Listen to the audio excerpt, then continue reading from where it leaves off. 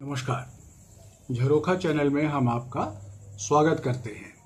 आज हम यहाँ आपके सामने प्रस्तुत कर रहे हैं 2019 में कक्षा बारहवीं की जो परीक्षा हुई है, उसमें हिंदी विषय के प्रश्न पत्र को हम हल करके आपके सामने रख रहे हैं। इसके पहले हमने कक्षा दसवीं की हिंदी विषय की परीक्षा के प्रश्न पत्र को भी इसी तरह हल करके उसका वीडियो आपके सामने प्रस्तुत किया है। तो आइए शुरू करते हैं कक्षा बारहवीं का हिंदी विषय का इसी साल का जो प्रश्न पत्र है, उसको हल करने का सिलसिला। प्रश्न पहला है, निम्नलिखित गद्यांश को पढ़कर पूछे गए प्रश्नों के उत्तर लिखिए। जो गद्यांश है, उसे मैं यहाँ से पढ़ नहीं रहा हूँ, वह स्क्रीन पर आपके सामने आएगा। उस पर आधारित जो प्रश्न हैं, मैं उनके उत्तर आपको दे रहा हूँ। क, गद्यांश को पढ़कर उचित शीर्षक लिखिए। इस गद्यांश का जो उचित शीर्षक होगा, वो उत्तर में इस तरह लिखा जाएगा। मैंने दिया है न्याय क्षेत्र का संकट। ख, आजकल न्यायपालिका पर उंगली क्यों उठाई जा रही है? उत्तर है, महिलाओं की मर्यादा और उनके दुर्व्यवहार के मामलों में पिछले कुछ समय से ऐसे आचरण के लिए स्वयं न्यायपालिका पर भी उंगली उठाई जाने लगी है। ग, प्रश्न स्क्रीन पर आपके सामने, उत्तर है, छोटे शहरों, कस्बों में सरकारी अफसरों की हैसियत बहुत बड़ी होती है। और जब भी उन्हें हैसियत वाले लोगों में शामिल होते हैं, जिसमें जज भी एक हिस्सा है। ऐसे में कुछ जज ऐसा मानने लगते हैं कि वे तमाम सामाजिक मर्यादाओं से ऊपर हैं। अब घा, प्रश्न स्क्रीन पर, उत्तर।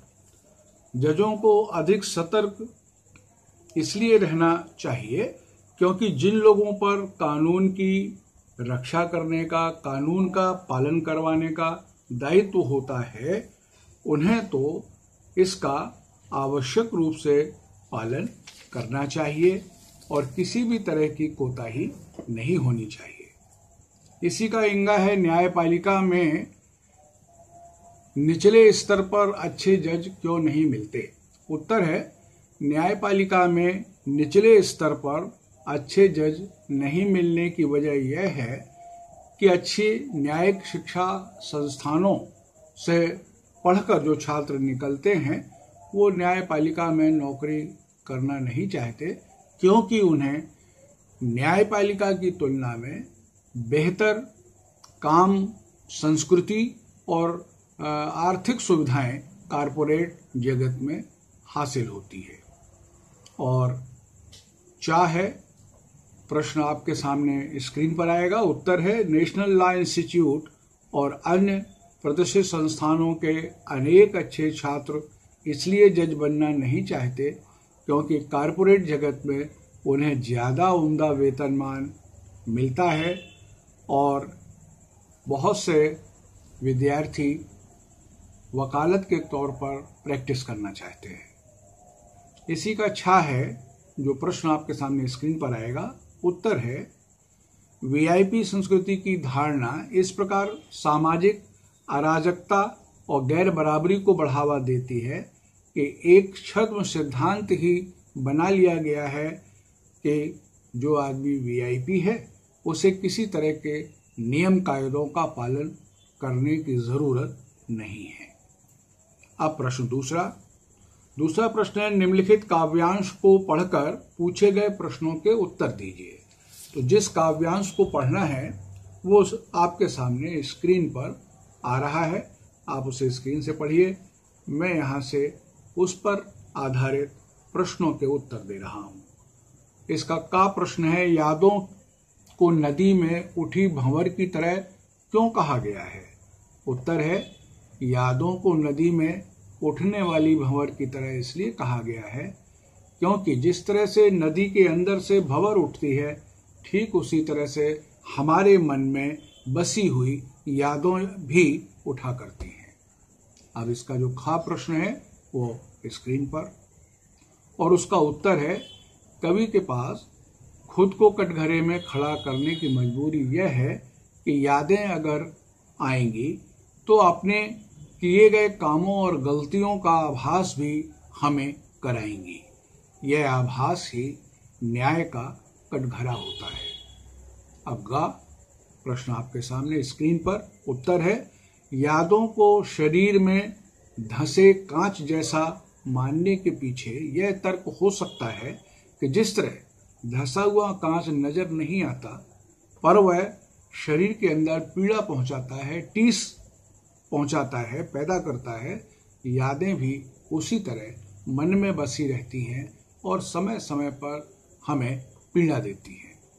घा, प्रश्न आपके सामने, स्क्रीन पर।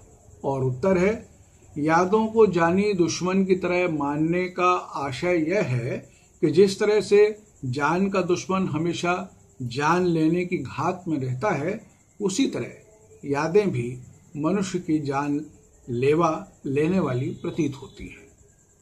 अब अथवा है अर्थात एक और काव्यांश है जिस पर आधारित प्रश्नों के उत्तर करने हैं। यह काव्यांश भी आपके सामने स्क्रीन पर आएगा और मैं उस पर आधारित प्रश्नों के उत्तर आपको यहाँ से दूँगा। इसका जो का है उस प्रश्न का आ, मैं पढ़ रहा हूँ उसे गुलाब और अलसी सरसों से कवि का क्या आशय है? उत्तर है, गुलाब और अलसी सरसों से कवि का अभिप्राय शहरी और ग्रामीण लोगों के प्रतीक के तौर पर वह अपनी बात कह रहा है। खा, जो प्रश्न है, वो आपके सामने स्क्रीन पर आएगा और उसका उत्तर मैं यहाँ से दूँगा। पढ़े लिखे गुलाब के गाँव में जाकर बसने से जो समस्याएँ हैं, वे इस प्रकार हैं। पहला गाँव में उसकी अगवानी और स्वागत कोई नहीं करता।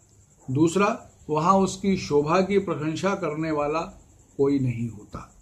तीसरा, गाँव को उसका लाभ नहीं मिलता, इसलिए कोई उसे पसंद भी नहीं करता।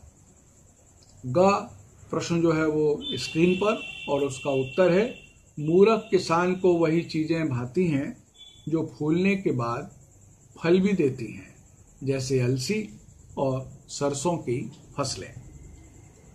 इसका घा, जो प्रश्न है, वो स्क्रीन पर, और उसका उत्तर है, आमीन गुलाब पर ऐसा वक्त कभी ना आए, से कवि का तात्पर्य यह है कि शहरी लोगों को गाँव जाकर ग्रामीण लोगों के साथ कभी रहना न पड़े, ऐसा वक्त ना आए।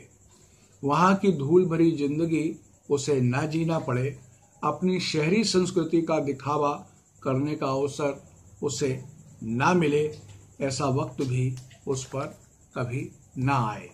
यहाँ पर असल में कवि ने व्यंग्यात्मक शैली में अपने विचार रखे हैं और वह एक तरह से ब्याज निंदा ही कर रहा है। अब प्रश्न पत्र का जो खंड खा वाला हिस्सा है, हम उसको शुरू करने जा रहे हैं। प्रश्न तीसरा, देखिए निम्नलिखित में से किसी एक विषय पर अनुच्छेद लिखिए। तो ये जो पहला है इसमें का पुस्तकी ज्ञान तक सिमटती शिक्षा। इस पर जो अनुच्छेद है, वो स्क्रीन पर आएगा। फिर इसका खा है, कठिन है, मित्र की पहचान। इस विषय का अनुच्छेद भी आपके सामने स्क्रीन पर आएगा। और तीसरा यानी ग विषय है अन्नदाता किसान की समस्याएँ।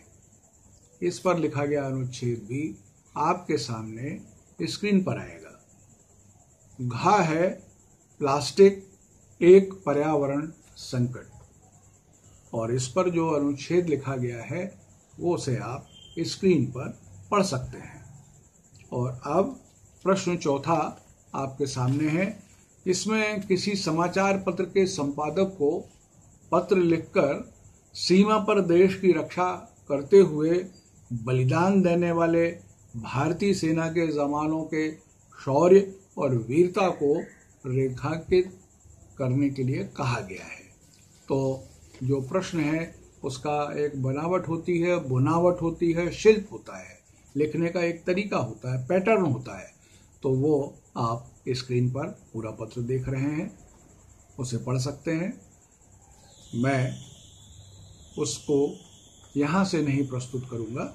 और अब हम आते हैं प्रश्न छठवें पर। छठवां प्रश्न है, नहीं, पांचवा। निम्नलिखित में से किन्हीं चार प्रश्नों के संक्षिप्त उत्तर देना है। तो जो का प्रश्न है, वो इंटरनेट आपके सामने स्क्रीन पर आएगा। मैं उसका उत्तर पढ़ रहा हूँ। इंटरनेट पर मौजूद हिंदी की दो साहित्यिक पत्रिकाओं के नाम इस प्रकार हैं पहला रचनाकार, दूसरा हिंदी साहित्य। अब ख प्रश्न जो है, वो है समाचार लेखन के संदर्भ में ककार का क्या आशय है? तो ये इसका उत्तर जो है, वो स्क्रीन पर आपके सामने आ रहा है। इसी का गा है वायस ओवर क्या है? तो इसका उत्तर भी आपके सामने स्क्रीन पर आएगा। अब घा है, समेकित माध्यम किसे कहा जाता है?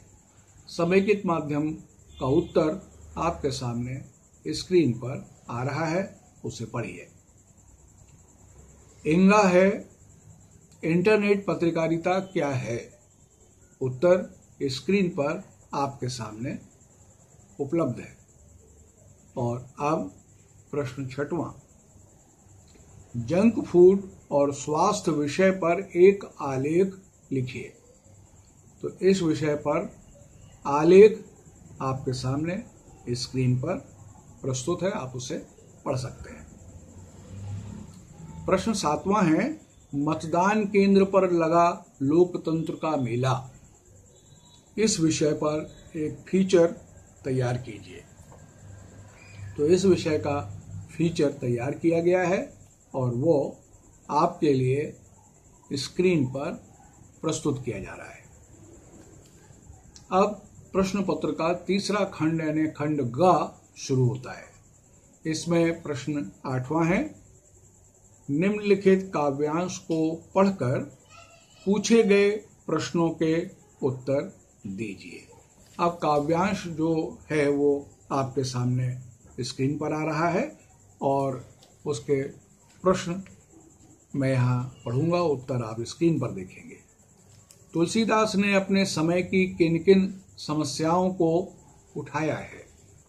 तो इसका उत्तर स्क्रीन पर मौजूद है, आप पढ़ सकते हैं। फिर खा है कि तुलसी किससे कृपा की उम्मीद कर रहे हैं और क्यों? इसका उत्तर भी स्क्रीन पर हमने प्रस्तुत किया है, आप उसको पढ़ लीजिए। गा है दरिद्रता की तुलना, रावण से की गई है और उससे बचाव का उपाय क्या है? तो इसका उत्तर सॉरी इसका उत्तर भी स्क्रीन पर आप देख सकते हैं।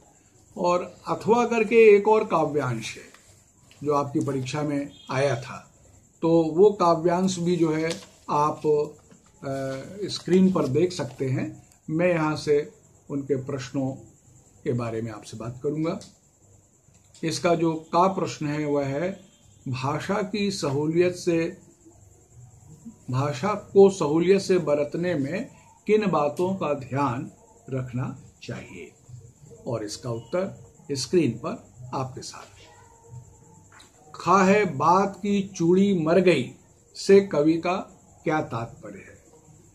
इस प्रश्न का उत्तर भी स्क्रीन पर आपके सामने है, आप उसे पढ़ सकते हैं।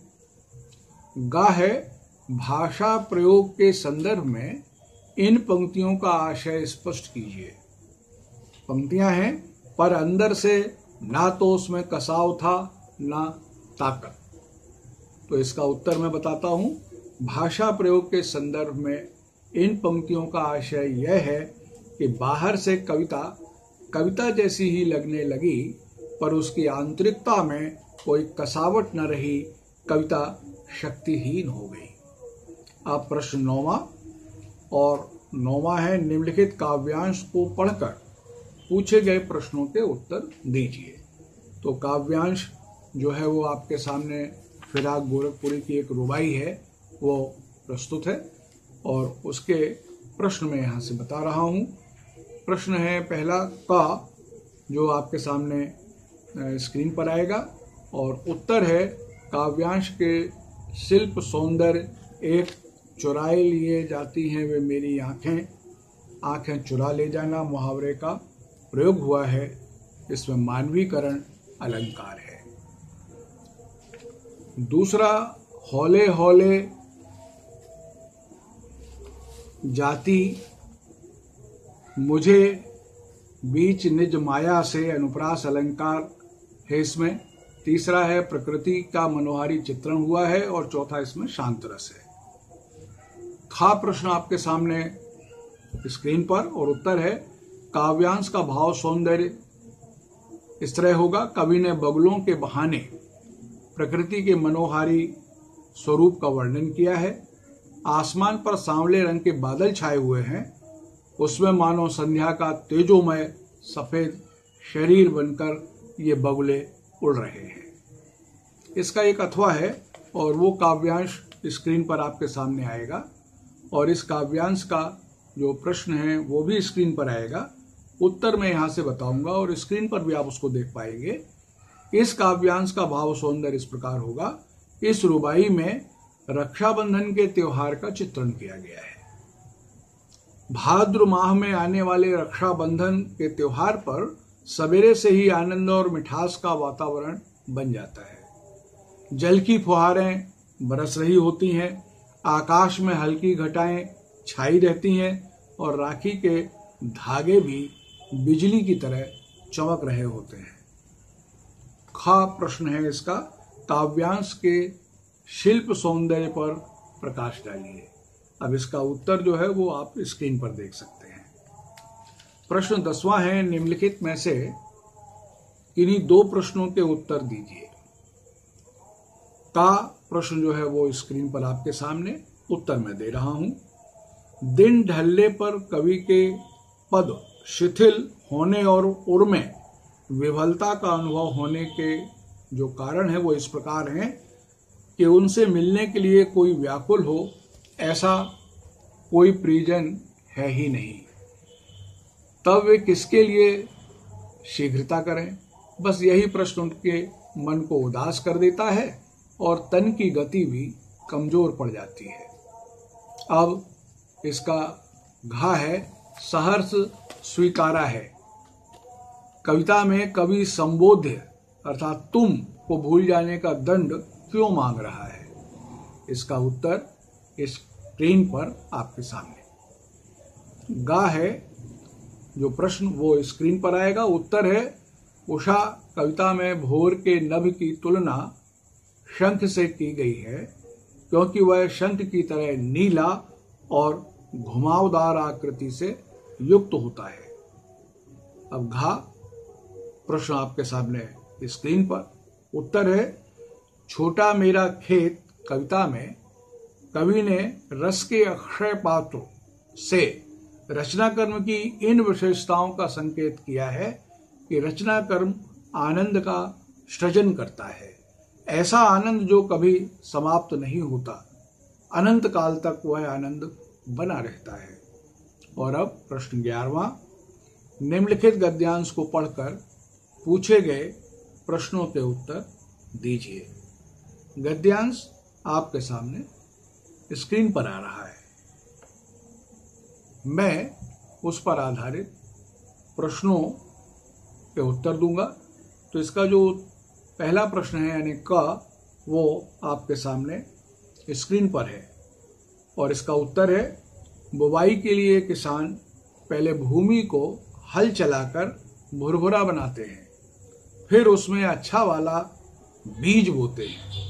तब धरती उस बीज की मात्रा से कई गुना फ़सल उन्हें वापस लौटाती है। इसी का जो खा प्रश्न है, वो आपके सामने स्क्रीन पर है और उसका उत्तर मैं आपको यहाँ से दे रहा हूँ। त्याग की महत्ता को जीजी ने इस तरह बताया कि समाज के लिए यह इसलिए ज़रूरी है क्योंकि त्याग की भावना से ही हमें अपने हिस्से का लाभ और सुख मिलता है। एक का देना ही दूसरे का पावना है। अब गा, प्रश्न आपके सामने स्क्रीन पर और उत्तर है, यथा प्रजा तथा राजा से जीजी का अर्थ तात्पर्य यह था कि समाज जैसा करता है, उसका प्रभाव राजा यानी शासन पर भी पड़ता है। वह भी वैसा ही सत्कर्म करने के लिए प्रेरित होता है। इसका अथवा है और उसका गद्यांश आपके सामने स्क्रीन पर है। उस पर आधारित प्रश्नों के उत्तर मैं दूँगा। पहला प्रश्न जो का है वो भी स्क्रीन पर आप देख सकते हैं और उत्तर है, भारतीय कस्टम अधिकारी ने, मगर हमारा वतन ढाका है। ऐसा इसलिए कहा था क्योंकि भारत विभाजन से पहले वह ढाका में रहा करता था। अब खा का जो प्रश्न है वो इस तरह है, कस्टम अधिकारी ने सफिया के साथ किन स्मृतियों को साझा किया? तो जो स्मृतियाँ हैं, उनका उत्तर स्क्रीन पर आपके सामने आप उसे पढ़ सकते हैं।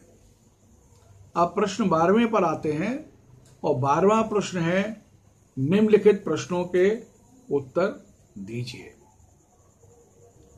प्रश्न में पढ़ रहा हूँ, पहलवान की ढोलक, कहानी पारंपरिक रूप से लोकप्रिय रहे कुश्ती जैसे खेलों के प्रति नई पीढ़ी की सोच में आए परिवर्तनों को भी दर्ज करती है। टिप्पणी कीजिए। इसका उत्तर स्क्रीन पर भी आप देख सकते हैं और मैं यहाँ से बता भी रहा हूँ कि हमारे यहाँ कुछ पारंपरिक खेल भारत के रहे हैं। उनमें से कुश्ती एक है। पर समय बदलता है, पीढ़ियाँ बदलती हैं और उसके साथ साथ सोच बदलती है। हम पाश्चात्य देशों के संपर्क में आए, हमने उनके खेलों को देखा, उनके प्रति अपना आकर्षण जो है हमने अभिव्यक्त किया और उनको हमने अपना लिया। लेकिन खेल तो सब अच्छे हैं, परंतु हमें अपने देश के जो पारंपरिक खेल हैं, उनको हमेशा जीवित बनाए रखने के लिए कोशिशें करते रहना चाहिए। और अब प्रस्तुत है इसी का ख। डॉक्टर अंबेडकर ने शाब्दिक अर्थ में असंभव होते हुए भी समता को नियामक सिद्धांत मानने पर बल क्यों दिया है? तो इसका उत्तर आपके लिए आपके सामने स्क्रीन पर। अब गा है, मेंढक मंडली से लेखक का क्या तात्पर्य है? वह उन पर पानी डालने को क्यों व्यर्थ मानता था? ये डॉक्टर धर्मी भारती के काले मेघा पानी दे से लिया गया प्रश्न है। और इसका उत्तर ये है कि गाँव के कम उम्र के लड़के जब इसी तरह कम कपड़े पहने हुए या नंगे होकर के कीचड़ कांदों में डूबकर पूरे गाँव में घूमते थे और लोगों से पानी मांगते थे तो गाँव के लोग उनको मेंढक मंडली कहा करते थे। और ऐसे लोगों के ऊपर लोग अपने घरों का बचाया हुआ वह कीमती पानी, जो पानी की उपलब्धता न होने के कारण परेशानी से जमा किया गया है, वो डालते थे। तो लेखक का विचार था कि ये तो पानी की बर्बादी है, इसलिए वह इसे उचित नहीं मानते थे। अब अगला प्रश्न है, घा। आपके सामने स्क्रीन पर। और इसका उत्तर है, यहाँ मुझे ज्ञात होता है कि बाज़ार की सार्थ, बाज़ार को सार्थकता भी वही मनुष्य देता है जो जानता है कि वह बाज़ार से क्या चाहता है। और अब तेरहवा प्रश्न है, जूझ के लेखक ने अपने मराठी शिक्षक सौंदलगेकर से किन गुणों और जीवन मूल्यों को ग्रहण किया? क्या आज भी उनकी प्रासंगिकता है? तो इसका उत्तर आपके सामने स्क्रीन पर। इसका अथवा भी है और उसमें पूछा गया है, एन फ्रैंक की डायरी विश्व की सर्वाधिक पढ़ी गई पुस्तकों में से एक है। इसके कारण क्या है? तो एन फ्रैंक की डायरी को सबसे ज़्यादा पढ़े जाने के जो कारण है, वो उनका उत्तर आपके सामने स्क्रीन पर। और अब आखिरी प्रश्न, चौदवा। निम्नलिखित में से किन्हीं दो प्रश्नों के उत्तर लिखिए।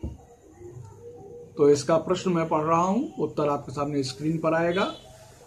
हमारे पूर्वजों ने 5000 साल पहले किस प्रकार विश्व को व्यवस्थित जीवन जीने का तरीका सिखाया था?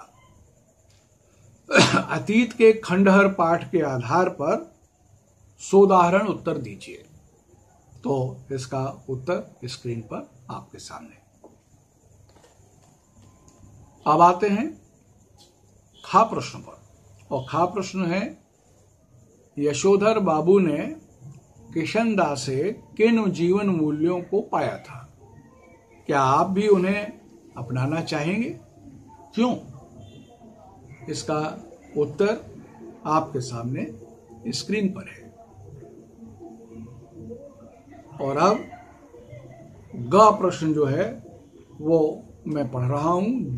जूझ पाठ के लेखक के पिता अपने बेटे की पढ़ाई के विरुद्ध क्यों थे?